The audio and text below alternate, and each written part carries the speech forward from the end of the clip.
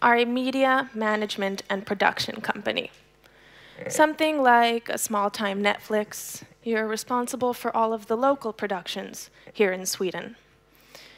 Incidentally, you've gotten exclusivity to produce the long awaited documentary of Zlatan Ibrahimovic, who most of you may know as a very famous Swedish footballer who's known to be one of the best in this generation and like an absolute legend. You're technically also producing his documentary, but from what I've read about him, it sounds like Zlatan will be directing his own documentary. So, you and your team work for months. You put out killer marketing campaigns, you get everyone excited, and everyone is talking about this. Now, the big day comes, you're at the edge of your seats with nervousness, media is ready, popcorn is ready, and it's about to be 7 p.m. on the great release day. Three, two, one. Unfortunately, not three minutes pass before one of your servers crashes. And then another and another. And within seconds, many people around Sweden no longer have access to the documentary. And you and your team go into panic, scrambling to figure out where it went wrong. And you start to wonder what happened? What did I do? This looks like maybe the server, server was overloaded with people making requests for the video, but no, you planned for this. You tested for this. You anticipated over 10 million people requesting this video from the server at the same time. And it takes a few minutes to figure out what happened. No, this was not about 10 million requests from the server. This was something much, much bigger than that. This, ladies and gentlemen, was the unexpected, unfortunate problem of the progress bar. My name is Avital Tzubeli, and today we are going to speak about something you rarely think about, unless, of course, you're in the business of creating video players. Today we are going to discuss, about the, discuss the video progress bar, or the seek bar, which is that little line at the bottom of each video that you never pay notice to, except for when you want to move around, when you want to know how much time you have, how long the video is. Sometimes you even get to see like little screenshots of what part of the video is where. In all cases, the video seek bar reminds you where you are. We'll talk about the importance of, of having the seek bar, why keeping track of how far users came is important for you, your users, what it means for your API, and what kind of load it can have on your server. Most importantly, we are going to discuss how to solve this problem with a simple and very elegant solution so that things don't ever blow up again on your very big release day. So I'm going to imagine that you are going to assume that you are an avid TV watcher or just a regular TV watcher, and it's 10 p.m. on a Tuesday night.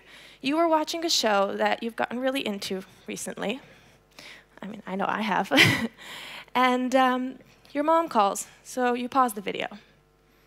Now, since it's your mother, it's about an hour later till you get off the phone, and at this point, it's time for bed.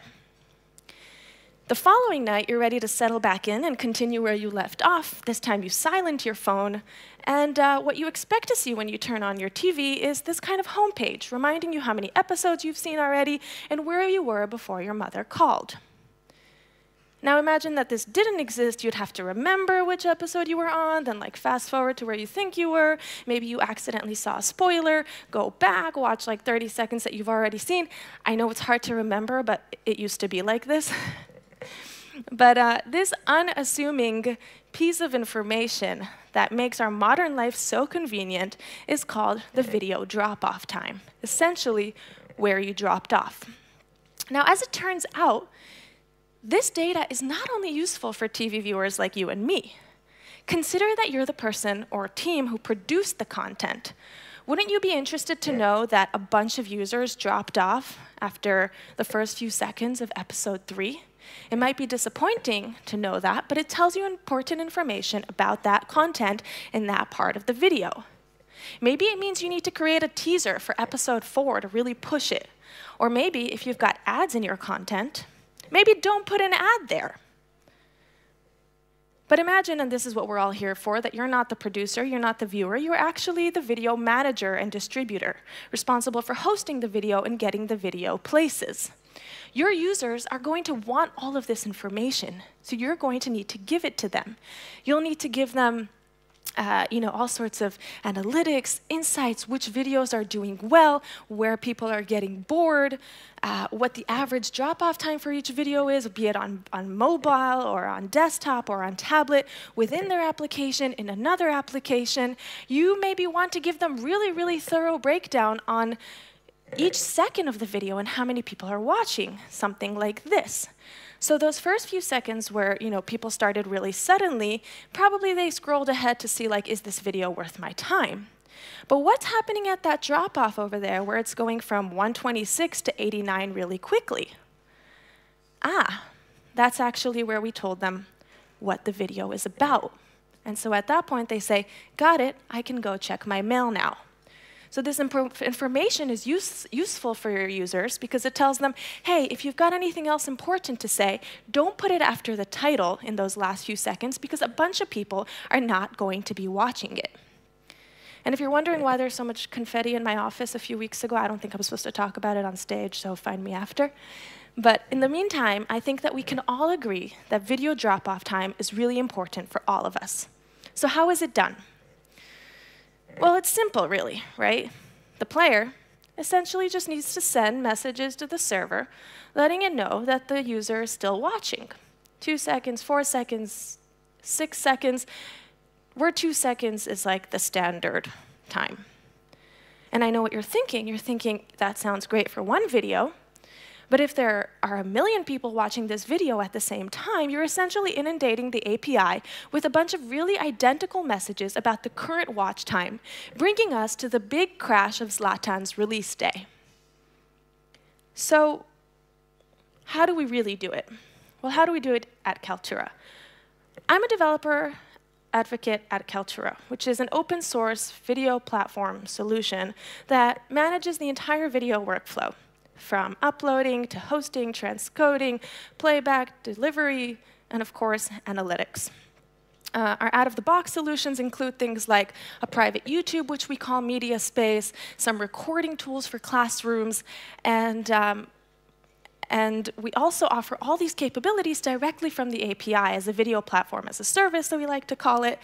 And through the UI, the console, or through the API, you can get a bunch of really, really thorough analytics on each of those videos. Something that looks like this. And it tells you things like uh, what content is viewed the most, who's uploading the most content, where are people watching, when are people watching, and of course, video drop-off. We too wanted to provide this information to our users without attacking the API with too many calls about this same thing. So what did we do? We created, instead of using this server, our regular server, and sending all of our messages to it, all these messages to it, we created an all-new dedicated proxy server. This new server handles only one type of call, the user entry update call. To explain to you what that means, user entry is the service that describes the relationship between the user and the video entry, and the update is the action that tells the API that something has changed in that relationship. And so when a message like this comes in, it goes to the new server and it looks like this. Hey, Avital's watching this video now. Okay, cool, we recorded it. Hey, Avital's watched two seconds of this video now. Okay, cool. Now what happens to that previous message? It's totally useless at this point. You can delete it. Hey, Avital's watched four seconds of this video. As you know, totally useless. The four seconds goes into the cache, two seconds gets deleted from the cache. Hey, Avital really likes this video. She's watched six seconds of it, can delete the previous message, and I can go on and on and on, but you get it. It's kind of like when you're on a road trip with your kid and they keep asking you like, hey, are we there yet? Hey, are we there yet? Hey, except for it's the opposite and you're saying, hey, this is where we are. Hey, this is where we are two minutes, two and a half minutes, three minutes. Then what happens when I get bored? I stop watching. I close the application after three minutes, and that last message was sent, and then no messages were sent anymore. Well, what I didn't tell you was that when that last message came in, a countdown timer started from 30. And if a new message came in, the timer stopped and started over. But if 30 seconds pass and it gets to zero, that last message becomes permanent. That 196 is now ready to be added to the queue of messages that are ready to go to the server. And they're sent in increments of 10 messages at a time, again, not to overload the server. Now this 10, 32, these are all completely configurable numbers, uh, which you can see in this code here of the project. This is the config of the project. It allows you to set the logger. It allows you to set which API to eventually send the messages to, how many messages you can send in a one second time period, and of course, which API call is going to be handled by this server. In this case, uh, user entry update, as we discussed, and it has a time to live of 30 seconds. Most importantly, you can also add ports or cores per each server, allowing you to scale out if you need to. And so I know what you're worried about now. What if, you know, one message Avital's at six seconds goes to core one, and then it continues from core two? But not to worry, the stickiness of this dedicated server is handled by a regular load balancer, which ensures that all of the same message goes to the same place.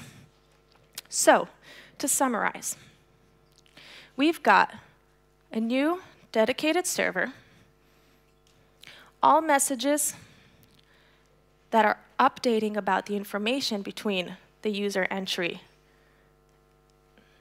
the user, the user and the entry go to that one dedicated server, a load balancer ensures that all of that same relationship messages go to the same place. Each time a message comes in, it, is, it replaces the previous message of its kind. And if it lives for 30 seconds, it gets added to a queue, which then goes to the server. These messages all go in increments of 10, and that is how we don't overload the server. Now, the cool thing about this whole project is that it's generic. You can access it yourself from our GitHub. You can change it yourself. You can do whatever you want with it. And it's very useful for situations where you're sending the same message over and over again to the server, but those old messages become useless when new messages come in, especially if you're in video distribution. Because I want you to imagine this. 8 million, 3 million people are watching the same video. That video is two minutes long, so let's say 120 seconds. You want to send updates every two seconds so that your users are, are never falling behind. You send messages every two seconds, which is 60 times per video, or even 61, depending. Now, if you are sending every two seconds 120 messages, uh, 60 messages per 120 second video for 3 million people, that's 180 million calls to the API over a two minute span for the same video. And these messages are completely useless once the new ones come in.